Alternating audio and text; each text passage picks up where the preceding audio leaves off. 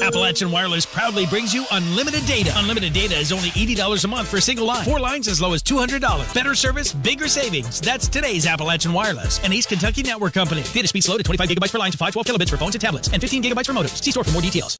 The recent bitter cold temperatures are behind us for now, but the temperature effects on water systems locally are now becoming more evident. The Mountain Water District in Pike County has issued a conservation advisory due to depleting water reserves. District Manager Roy Sawyers said the problem is due to water line breaks resulting from the recent cold weather, as well as steps taken by customers to keep their pipes from freezing.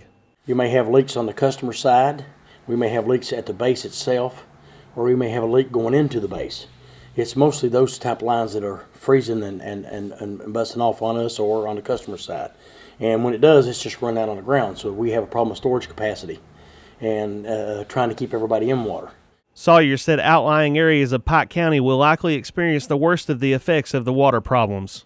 We will run into some areas where we have high volume outage, and those areas will probably be re in reference to uh, head of Elkhorn Creek, Dorton area, uh, Beefhide, Douglas, and probably, uh, as of right now, probably Marrowbone. Those areas we anticipate between today and tomorrow, uh, maybe having some issues. He said the district has nearly three dozen crew members on the road responding to the problems, but with the water system having more than 18,000 meters, the response is taking some time. It has cost the district a lot over time, and, and uh, it's been very difficult for their staff because, you know, you're talking about working in 10 degree weather, 5 degree weather, getting wet, and so forth, and our guys have been great about doing it. Uh, uh, that's one thing I can say about the district's personnel staff. We got a staff that really wants to serve their community, and, and uh, they have the personality and attitude to get it done.